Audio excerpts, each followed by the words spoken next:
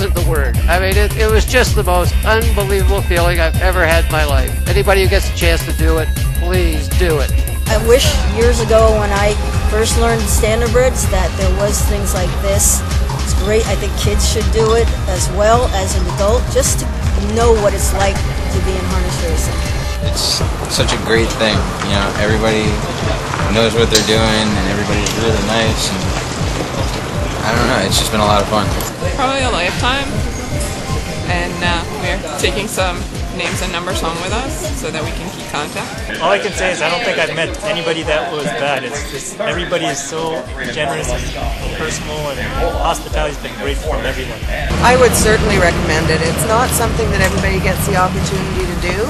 They're very knowledgeable people. You learn more about the industry than you can imagine, and the thrill, nothing. I learned a lot. I appreciate the business because of the seminar a lot more. I would do it in a heartbeat tomorrow. I'd encourage anybody who gets a chance to participate in the adult harness camp to do so. You, what you do is you meet people who've got a compassion and love for a sport that's unrivaled.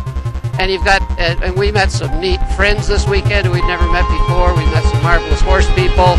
And Conrad Seelster is by far and away the favorite racehorse I've ever seen in my whole life.